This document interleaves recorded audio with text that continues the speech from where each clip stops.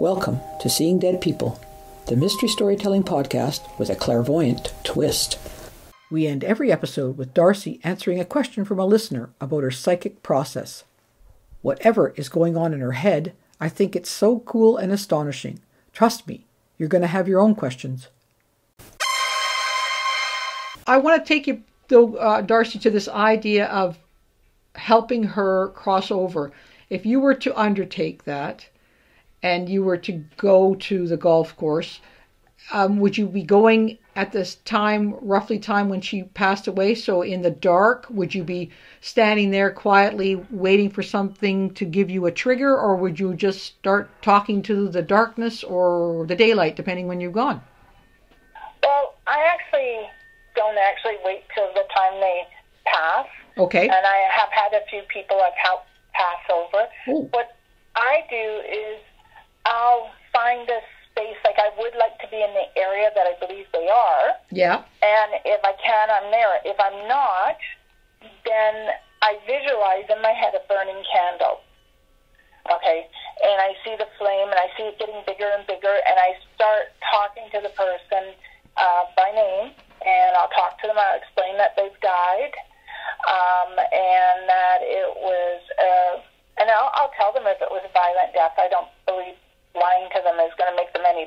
Mm-hmm. And I'll tell them what I'm feeling about the anguish for themselves as well as for maybe the way the person was feeling. Like he, he, he didn't really want to do it, but he felt compelled. He was at his wits' end.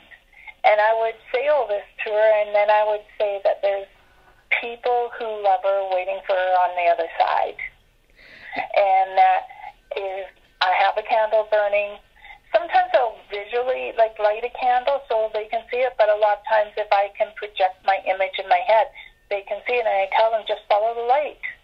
You're going to see the the sky open, and you'll see a, a heavenly light. And I'm not joking; you actually do see that heavenly light Oh, neat. you can go towards it and you'll start seeing the little globes all around it and people coming towards you to take your hand and help you cross.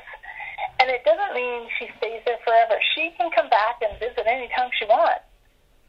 It's just that anguish that I feel, that emptiness, the the hollowness that I'm feeling gets filled.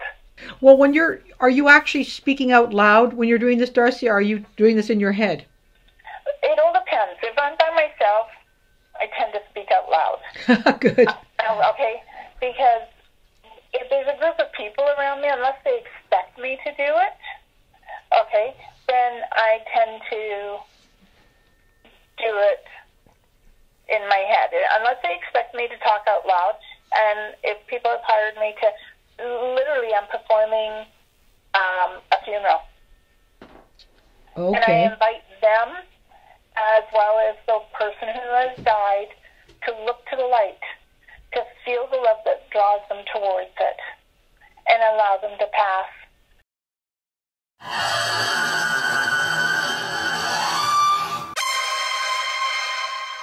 We'd love to hear from you with questions for D'Arcy about her psychic process or suggestions for other mystifying situations you would like us to investigate.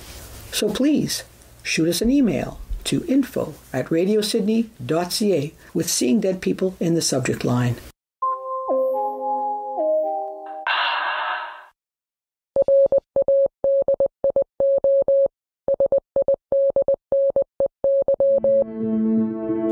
This has been a program of Radio Sidney,